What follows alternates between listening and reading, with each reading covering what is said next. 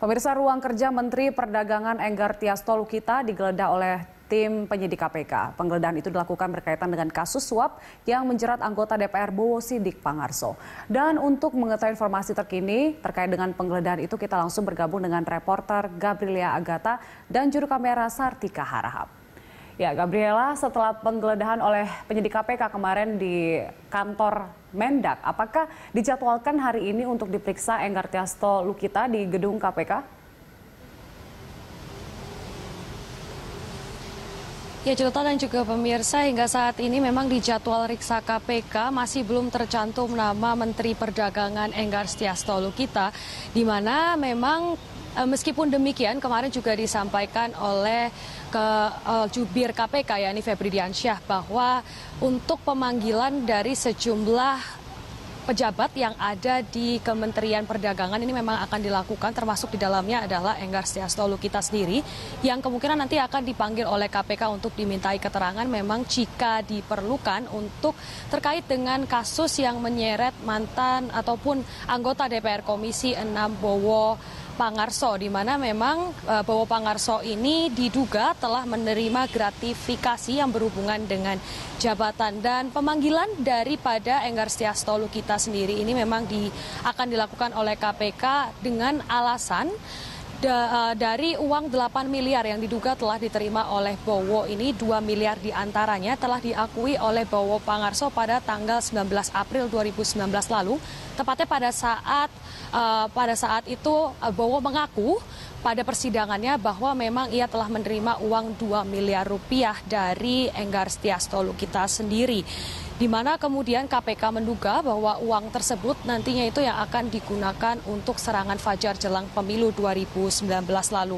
Uang ini kemudian ditemukan oleh KPK di dalam 84 kardus yang kemudian dimasukkan ke dalam sejumlah amplop yang berisi uang pecahan Rp20.000 hingga Rp50.000. Meski demikian, Menteri Perdagangan Enggar Stiasto Lukita sempat menepis pernyataan dari ataupun pengakuan dari Bowo sendiri lantaran menurutnya ia tidak memiliki alasan apa pun untuk kemudian memberikan uang sejumlah 2 miliar dengan pecahan Singapura dolar Singapura tersebut kepada Bowo. Dan yang dipanggil pada hari ini terkait dengan kelanjutan penyelidikan kasus Bowo Pangarso ini adalah Direktur Utama PT Pupuk Indonesia Logistik Ahmadi Hasan. Dan berikut ini adalah pernyataan langsung dari juru bicara KPK Febri Diansyah.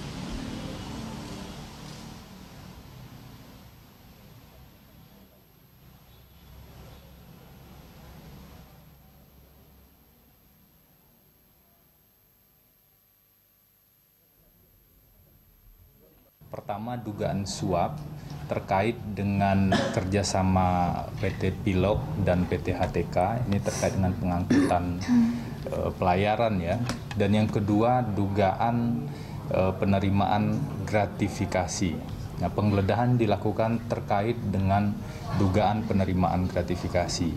Kenapa dilakukan penggeledahan di kantor Kementerian Perdagangan? Karena kami perlu melakukan tindakan-tindakan awal pencarian-pencarian bukti yang kami duga buktinya itu ada di kantor Kementerian Perdagangan termasuk di antaranya di ruang Menteri Perdagangan.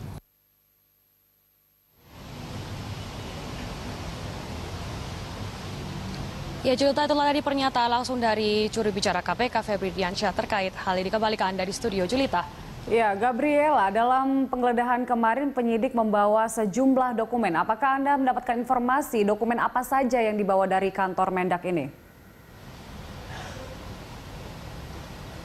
Ya Juruta dan juga pemirsa memang dalam penyelid, eh, ataupun penggeledahan yang dilakukan oleh KPK kemarin tanggal 29 April 2019 di kantor Kementerian Perdagangan, memang KPK ini menemukan dan juga menyita sejumlah dokumen, terutama dokumen yang ditemukan di dalam ruangan dari Menteri Perdagangan sendiri. Dokumen-dokumen tersebut di antaranya adalah dokumen perdagangan gula rafinasi yang kemudian hingga saat ini menurut juru bicara KPK Febri Diansyah ini masih dilakukan cross-check dan juga proses verifikasi klarifikasi terkait dengan dokumen-dokumen yang telah disita KPK ini kemarin. Penggeledahan yang dilakukan oleh KPK ini berkaitan dengan kasus Bowo Sidik Pangarso yang juga diduga telah menerima uang sebesar 212 juta rupiah dan juga 85.130 dolar Amerika Serikat di mana uang tersebut diberikan oleh marketing manager PT Humpus Asti Winasti kepada Bowo melalui perantara yakni rekanan Bowo sendiri yang bernama Indung. Kemudian uang ini digunakan oleh Bowo untuk memberikan pengaruh atau mempengaruhi PT Pupuk Indonesia Logistik agar mereka mau melanjutkan kerjasama mereka dengan PT Humpus dan akhirnya kesepakatan pun dibuat oleh kedua perusahaan ini yang ditandai dengan penandatanganan MOU pada tanggal 26 Februari 2019 lalu. Hingga saat ini Julita dan juga pemirsa KPK telah menetapkan tiga orang tersangka dalam kasus ini, yakni Bowo Sidik Pangarso sendiri, kemudian juga ada Indung dan Asti Winasti.